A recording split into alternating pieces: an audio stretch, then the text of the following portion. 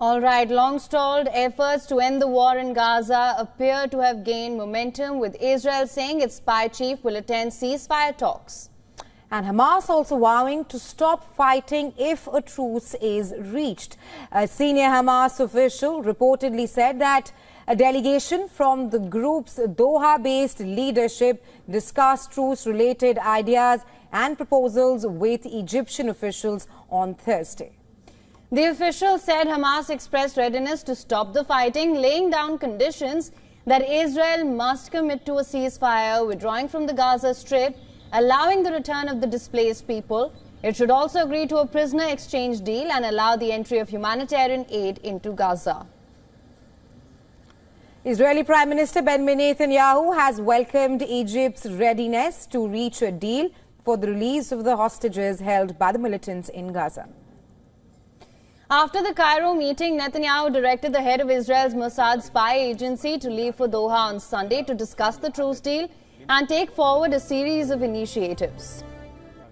Well, earlier on Thursday, the US and Qatar said that Gaza ceasefire talks will resume in Doha. U.S. Secretary of State Antony Blinken met with the Qatari leaders in Doha on his 11th trip to the region since the war began. Blinken in London is expected to also meet with the foreign ministers of Jordan and the UAE today, two key partners in a post-war plan for Gaza. U.S. top diplomat will also meet with Lebanese Prime Minister Najib Mikati to discuss the conflict in the country. Meanwhile, Israel's far-right ministers Itamar Ben-Gvir and Bezalel Smotrich have slammed Netanyahu's decision to send a high-level delegation team to Doha. In a post on X, Ben Gvir said that the announcement was not approved by the cabinet and asserted that Israel should rather starve Hamas of oxygen than agree for a deal that will allow it to reorganize and attack Israel.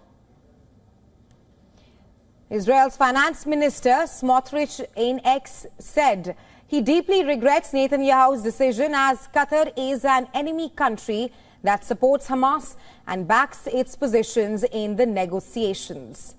Furthermore, according to a New York Times report, Iran is readying for a war with Israel, while at the same time seeking to avoid one. This comes as Tehran is awaiting Israel's response to its latest missile attack. The report citing four Iranian officials says that Iran's supreme leader Ayatollah Ali Khamenei has ordered Iran's armed forces to formulate plans in response to the expected Israeli retaliation. Iran will strike back if there is significant damage or casualties. Meanwhile, according to TASS news agency, Iran's Islamic Revolutionary Guard Corps chief Hossein Salami has warned that advanced U.S. missile defense system THAAD stationed in Israel won't be able to ward off future attacks from Tehran.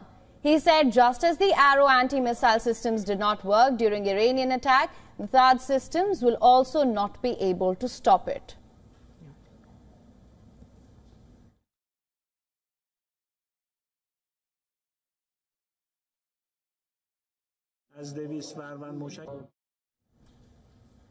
All right, for more on this, we're now being joined by Professor James A. Russell, live from Monterey, California. He's an associate professor in the Department of National Security Affairs at NPS, where he's teaching courses on U.S. foreign policy in the Middle East. Uh, thank you so much for joining us. Always a pleasure to have you on the show with us.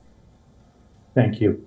Uh, Nasser, Mossad Chief David Barnea is traveling to Doha for Gaza ceasefire negotiations. Of course, we know U.S. Secretary of State Antony Blinken is in London as well. And this meet comes after Israel's killing of Hamas chief Yahya Sinwar. That being said, how optimistic are you of a breakthrough this, this time around? We know that a ceasefire has remained elusive so far. I'm not optimistic at all, uh, regretfully. Um, uh, and I think it's going to require a sea change in Israeli uh, calculations uh, for these negotiations to move forward. Uh, Israel has shown that it believes it can solve its political problems with the Palestinians through the use of force, and it has engaged in this war of uh, ethnic cleansing, uh, starvation, and disease against the Palestinians in Gaza. Uh, and it is instituting this campaign to try to get the Palestinians to go elsewhere uh, so that the Israelis can send in settlers. Um, I don't see Israel uh, in, in, in the current political context in, as in changing this approach. Mm. Um, although uh, I, I, we all hope to be surprised that there can be some kind of breakthrough to stop the senseless slaughter. Professor Russell, the talks are also happening just a few weeks before the U.S. polls, uh, with the statement coming out of Netanyahu's office where he said that he welcomed Egypt's willingness to reach a deal at this point of time. Just a few weeks ago, Trump said that he spoke to Bibi.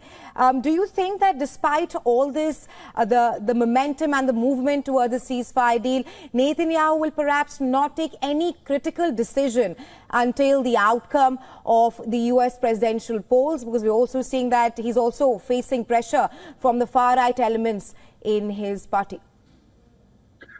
Uh, it's it's a good question, of course. I, I think it's clear that Netanyahu would uh, uh, rather be dealing with Trump than with uh, Kamala Harris. Um, while the Biden administration has uh, extended this blank check, providing all the arms and money and political support that the Israelis need. Uh, there have been these statements, and of course, there, there have been recently a couple of letters signed by the secretaries of defense and uh, state threatening to cut off military aid if the Israelis don't allow more humanitarian aid into North Gaza. Um, I don't think I don't think he would expect to put up with anything like this uh, from a Trump administration. So I would I would expect that some of this, uh, some of these uh, sort of considerations are certainly going to play a role in Netanyahu's approach to the whole, uh, you know, the relationship with the United States, and uh, he would get an even freer hand uh, with Trump uh, than he would with the Harris mm. Biden sort of team. I think that's that's clear. Uh, Professor, just coming back to a point that you made earlier as well, you said that you're not optimistic at all and that what Israel wants is for Palestinians to move elsewhere so that Israeli settlers can come in. Now, of course, we know that last time talks had failed. That was because Netanyahu's insistence on Israeli troop deployment, of course, in the Philadelphia corridor. How mm -hmm. do you mm-hmm. think things are different this time around? Do you think they would probably want to leverage Sinwar's death this, this time around in the negotiations? Because we have heard from Hamas that they are ready yeah. to stop fighting, but that's only contingent on Israel completely withdrawing from Gaza.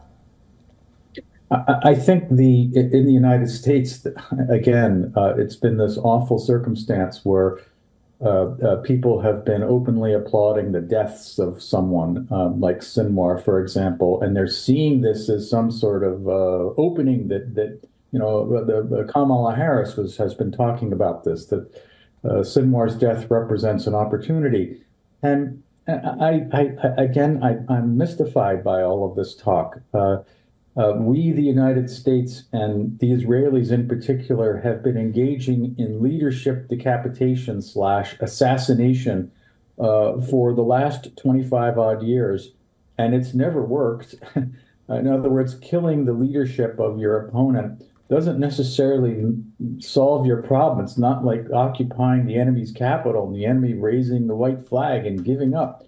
I, I, I, don't, I, I, you know, I don't know uh, what what they're smoking in these in these places where where they think that assassination. I mean, this is this is the Israeli approach in Lebanon. They assume that oh, killing Nasrallah was going to mean that Hezbollah is, is going to go away, and this is complete nonsense, of course.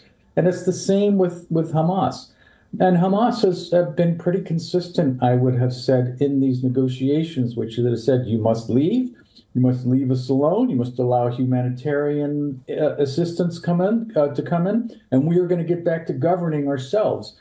And uh, of course, from the Israeli perspective, at least if you listen to the rhetoric, as you just reported, your reporter just said this, the Israelis are, are they want to starve and kill all the Palestinians. I mean, these are not reconcilable objectives. Hmm. So that's the source of my my uh, again my uh, I wish I could say that I was hopeful uh, because it's obvious that this senseless sort of uh, slaughter of innocent civilians needs to end. Right, Professor Russell, the Philadelphia corridor does remain a point of contention. We'll wait and have to see how uh, the uh, ceasefire talks move forward in Doha. But thank you for joining us on World DNA with your insights. Thank you for having me.